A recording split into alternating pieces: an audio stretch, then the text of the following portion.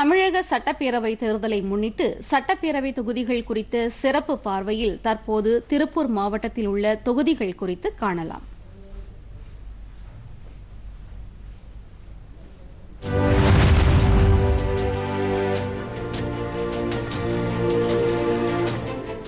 திருப்பூர் மாவட்டம் தமிழகத்தின் பொருளாதாரத்திலும் இந்திய ஏற்றுமதி துறையிலும் பெரும் பங்காற்றி வருகிறது.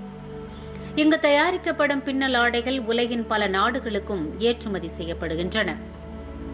தாராபுரம் ஆஞ்சநேயர் கோயில் மிகவும் பிரசித்தி பெற்றதாகும். கால்நடை சந்தையில் காங்கேயம் காளைகளுக்கு ஒரு தனி இடம் உண்டு. விவசாயத்தை முக்கிய வாழ்வாதாரமாக கொண்டது இந்த மாவட்டம். திருப்பூர் மாவட்டம் தாராபுரம் காங்கேயம் அவினாசி திருப்பூர் வடக்கு திருப்பூர் தெற்கு பல்லடம் உடுமலைப்பேட்டை மடத்துக்குளம் ஆகிய தொகுதிகளை தன்னகத்தே கொண்டுள்ளது. மாவட்டத்தில் உள்ள மொத்தம் இருபத்தி மூன்று லட்சத்து ஐம்பத்தி இரண்டாயிரத்து எழுநூற்றி எண்பத்தைந்து வாக்காளர்களில் பதினோரு லட்சத்து அறுபத்தி ஆறாயிரத்து எழுநூற்று அறுபத்தி ஏழு ஆண்களும் பதினோரு லட்சத்து எண்பத்தி எட்டாயிரத்து எழுநூற்று முப்பத்தி மூன்று பெண்களும் மற்றவர்கள் இருநூற்றி எண்பத்தி ஐந்து பேருமாக உள்ளனர். இரண்டாயிரத்து பதினாறாம் ஆண்டு நடந்த சட்டப்பேரவை தேர்தலில் இம்மாவட்டத்தில் எட்டு தொகுதிகளில் ஆறில் அதிமுகவும் தலா ஒரு தொகுதியில் திமுகவும் காங்கிரசும் வெற்றி பெற்றன. பதினாறாம் ஆண்டு நடந்த சட்டப்பேரவை தேர்தலில் இம்மாவட்டத்தில் உள்ள காங்கேயம் தொகுதியில் அதிகபட்சமாக எழுபத்தி எட்டு சதவிகிதத்துக்கும் மேற்பட்ட வாக்குகள் பதிவாயின.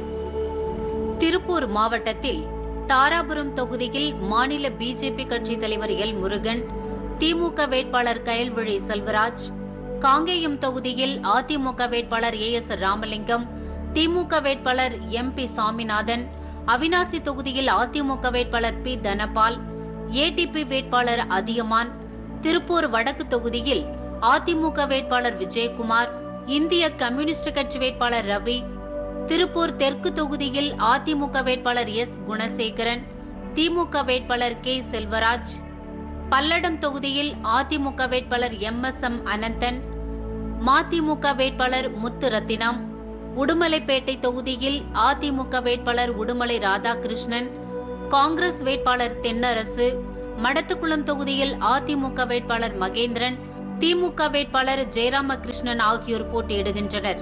இவர்களை தவிர இதர கட்சிகள் மற்றும் கூட்டணியைச் சேர்ந்த வேட்பாளர்களும் களத்தில் உள்ளனர். மாவட்ட மக்களின் குரலை கேட்போமே. டி. அவினாசி தொகுதி மக்களுடைய தண்ணீர் தேவையை பூர்த்தி செய்யணும்னு சொல்லி கேட்டுக்கிறேன் ஒன்று அடுத்து அவினாசி அரசு மருத்துவமனையில் போதிய மருத்துவர்கள் செவிலியர்கள் பற்றாக்குறையோடு தான் இருக்காங்க. அதையும் முழுமையாக பூர்த்தி செய்து ஏழை எளிய மக்கள் பயன்படக்கூடிய வகையில் அரசு மருத்துவமனையை செயல்படுத்தணும்னு சொல்லி கேட்டுக்கிறேன். நீர் குழாய்கள் இணைப்புங்கிறது முழுவதும் பழுதடைஞ்சு கிடக்குது. அதை உடனடியாக சரி செய்யணும். வரக்கூடிய தண்ணீருங்கிறது ஒரு பதினஞ்சு நாளைக்கு ஒரு முறை தான் வருது. பதினஞ்சு நாள் பதினாறு நாள் ஆயிடுது அதை உடனடியாக சரி செய்ய வேண்டியது இருக்குது. அதை விட மிக முக்கியமானது என்னென்னா தொழிலாளர்களுக்கு அந்த நலவாரியத்தில் பதிவு பண்ணுறதுல மிகப்பெரிய கோளாறு இருக்குது. அதை இந்த அரசாங்கம் வந்து சரி செய்யறதுக்கு உடனடி நடவடிக்கை எடுக்கணும் தேர்ந்தெடுக்க அடுத்து தேர்ந்தெடுக்கப்படக்கூடிய சட்டமன்ற உறுப்பினர் உடனடியாக தலையிட்டு பேசி அதை செய்ய வேண்டியது இருக்குது. பல்லடம் தொகுதிக்குள்ளே நீண்ட காலமாக இருக்கிற பிரச்சனை போக்குவரத்து நெருக்கடிங்கிறது பல்லடம் நகரத்துக்குள்ளே பெரும் பிரச்சனையாக மாறி இருக்குது. அது திருச்சி கோயம்புத்தூர் நெடுஞ்சாலை அது. திருச்சி நான் நாகப்பட்டினம் வரைக்கும் இருக்கக்கூடிய தேசிய நெடுஞ்சாலையில் பல்லடத்துக்குள்ளே பெரும் போக்குவரத்து நெருக்கடி நீண்ட காலமாக அது பிரச்சனையே இருக்குது. இப்போ ஜெயிச்சு வரக்கூடிய சட்டமன்ற உறுப்பினர் அந்த போக்குவரத்து நெருக்கடி போக்குறதுக்கான முறையில் ஒரு மேம்பாலத்தொன்னு உடனடியாக கட்டித்தரதுங்கிறதான் அந்த போக்குவரத்து நெருக்கடியை போக்குவரத்து உதவி செய்யும் இம்மாவட்ட மக்கள் தங்களது வாக்குகளை பதிவு செய்யும் நாள் வரும் ஆறாம் தேதி.